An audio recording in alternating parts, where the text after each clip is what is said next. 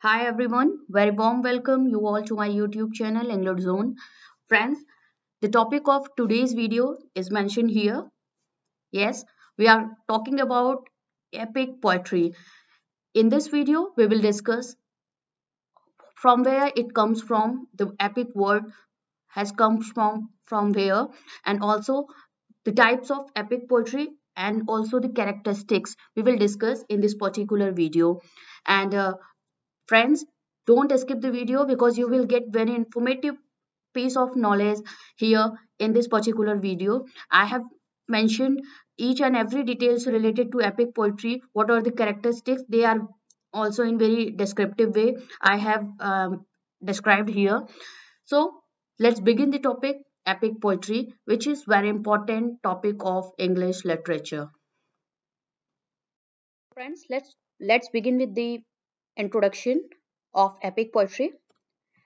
An epic is traditionally a genre of poetry known as epic poetry. Friends, epic is a category of uh, poetry. It is uh, comes under uh, poetry. That's why it is called epic poetry.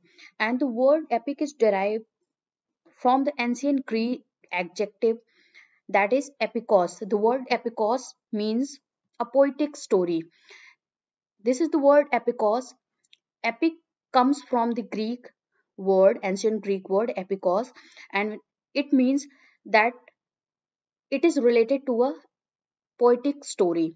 And in literature, an epic is a long narrative poem.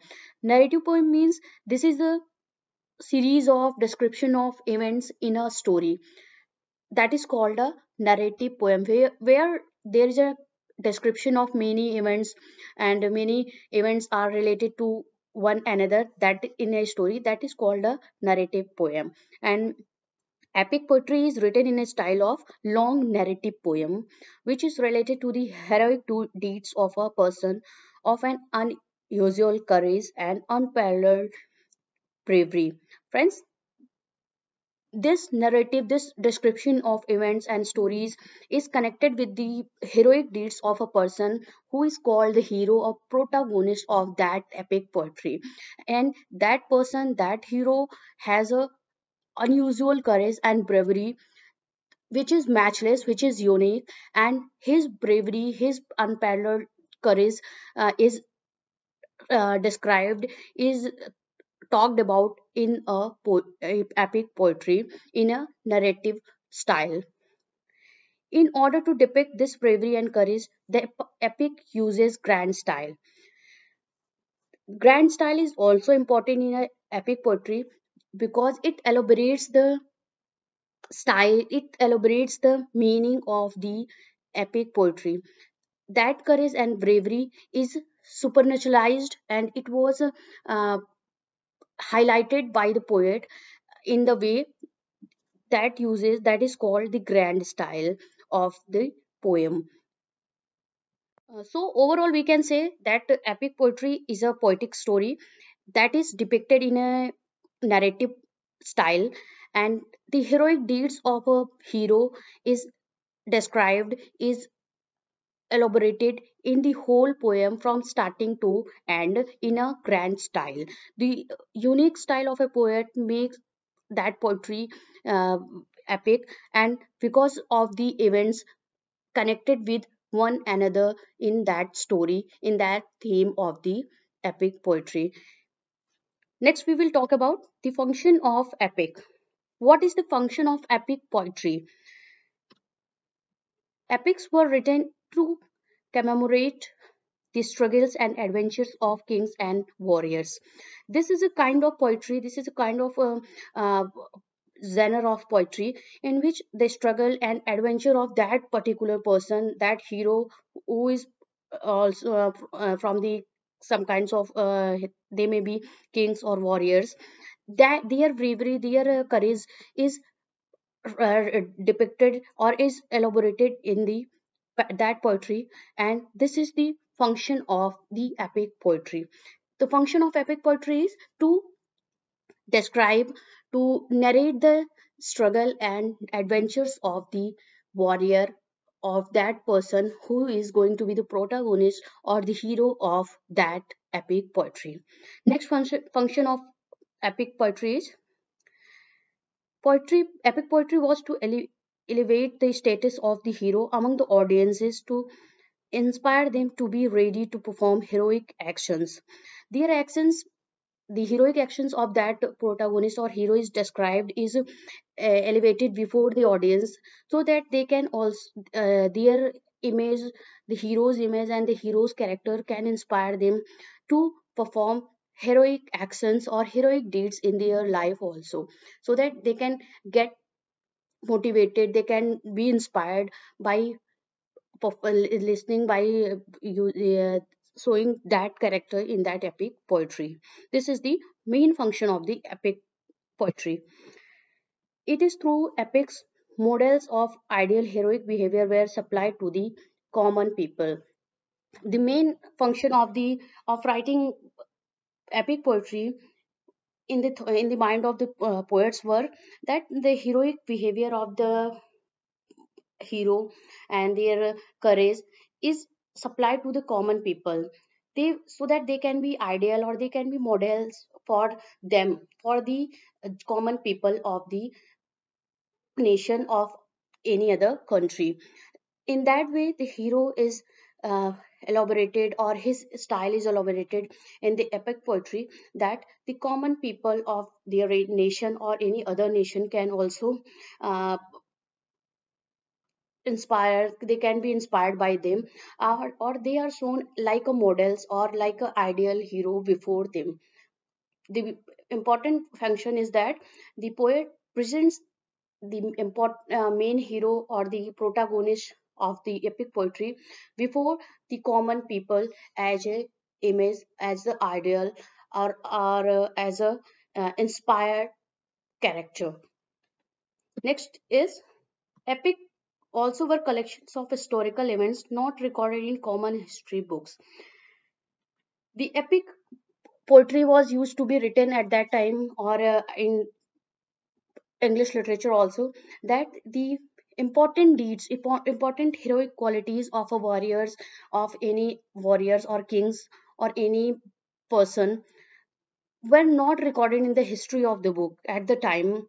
That's why the main hero or the of a character of a one age of any particular of person of that age is described by the by the uh, poet of the that particular like we have Beowulf. Beowulf is the uh, character or is the warrior who was described by uh, who was described in a epic poetry whose character was described in a epic poetry for the common people to to to be inspired with that character of the Beowulf. That's why that character was modeled before the audiences or before the common people by the unknown poet who had written that book Beowulf epic poetry. Now we will discuss types of epic in literature. Uh, there are two types of epic poetry in literature. The first is called folk epic. And what is folk epic? Folk epic is an ancient epic uh, which was originally in oral form. Examples beowulf odyssey. This was comes under the folk epic and it was an ancient or written in an ancient time of literature. The folk epic is based on a particular mythology. The folk epic is a product of the mythology of the locality. Uh, friends folk epic is related to the uh, old beliefs and old uh, myths of the of a particular country or a particular locality. And on that note folk epic poetry was written at the time of the ancient. And this was related to the old beliefs and myths of the particular country or particular uh, area. And uh, the description the story or the ideal hero of that uh, time were described in that epic poetry in of the ancient times. Next important characteristic of folk epic poetry is the author is of the folk epic may be common man because it was regarded that uh, some common men had written this kind of poetry of the ancient time because they are very, they were very well known of the uh, locality of the myths or, and old beliefs of that particular area or that ancient times. Uh, examples we have Beowulf, the author of this epic poetry is unknown. Odyssey we have of homer and iliad we have of homer also. That is regarded the ancient epic poetry in english literature next types of epic poetry is literary poet epic. This is kind of a modern epic or art epic. Uh, the important points of literary epic is literary epic is known as art epic. Examples paradise lost we have also uh, the Endymion and also the Hyperion of John Keats. And this is comes under the art epic or literary epic written in a modern time. The main important characteristic of literary epic is the literary epics tend to be more polished, coherent, and compact in structure and style when contrasted with the folk epics. The writing style, the using of supernatural qualities or elements in the epic poetry is more polished and coherent and compact in structure and style of the literary epic in the comparison of the folk epic. That's why the writing style, the execution of supernatural qualities or machineries of the paradise lost is far much better than that of the ancient epics next important points is literary epics, epics are the result of the genius of the poet friends one important thing we have to note here that the imaginary quality or imaginary thoughts of the poet is very much elevated or very highly uh, used in the uh, literary epic. While in the folk epic the old beliefs and uh, myths of the that time were written by that common man. So the style must be different from uh, of the folk epic and also of the literary epic literary epics were more polished more compact in style and structure in comparison with the folk epics. So there are two types of epics, folk epic and literary epic in English literature.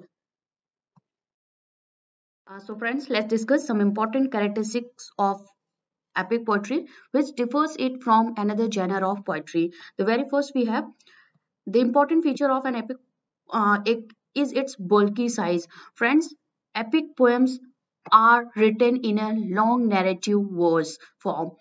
They are very much extensive and prologue narrative. The stories and events are connected to interconnected with one another in a story. That's why it make it very bulk in size. They are very bulky in size and uh, they are divided into many parts like we have examples and uh, milton's paradise lost is divided into 12 books and also uh, Odyssey is divided into four, uh, 24 books. That's in the same way, they are very much long narrative works, and that's why it takes so much length, it takes so much bulk in size, and it was divided into many books. Next, we have each epic glorify the value, deeds, bravery, character, and personality of a person. In epic poetry, the protagonist or the hero of that epic poem have some value, some bravery, and their, their character and their personality were very much glorified by the poet of that epic poem. And that also must have a physical and mental health because whatever the uh, drama created, whatever the situation created in a, in a epic poetry, that protagonist suffer from that. And it shows that the that protagonist has mental and physical health. That's why poet glorifies the protagonist in every ways of his life. Next important feature of epic poetry is exaggeration is also an important part of an epic the poet uses hyperbole to reveal the powers of a hero. Uh, it shows that uh, this important feature is uh, because a hero must be ideal uh, before the audiences. That's why his deeds, his valor, his bravery is exaggerated or overstatement overstated by the poet of that epic poetry, so that he can be a model for the audiences and his it can give some kinds of pleasure to the audiences. Next we have supernaturalism is must have feature of an every epic. There must there are certainly gods, demons, angels, fairies, and use of supernatural forces in every epic. Friends, supernatural machinery is also important. That element is also important for an epic poetry because if the epic has supernatural quality like uh, uh, demons like the uh, description of god and also fairies angels. It elevates the theme and the story and the imaginary sides of the uh, people. And also uh, it shows that these forces elaborate the um, supernatural quality of the uh, epic by the poet. And um Milton also uses uh, in his Paradise Lost supernatural elements. In uh, uh, Faerie Queene, we also see that uh, how brilliantly he has used supernatural elements in his epic Faerie Queene. Next, we have morality is the key characteristics of an epic. The po- uh, poet's foremost purpose in writing an epic is to give a moral lesson to his readers and uh, friends epic poetry is not only for uh, entertainment or for uh, pleasure. These they also impart some kinds of moral lesson to the audiences because they are very much they are on a uh, magnified or they are on a, a sublime subject that gives message to the audiences who are going through the epics of poems of the epic poetry of the poets. Like we have uh, milton's paradise lost is the perfect example in this regard.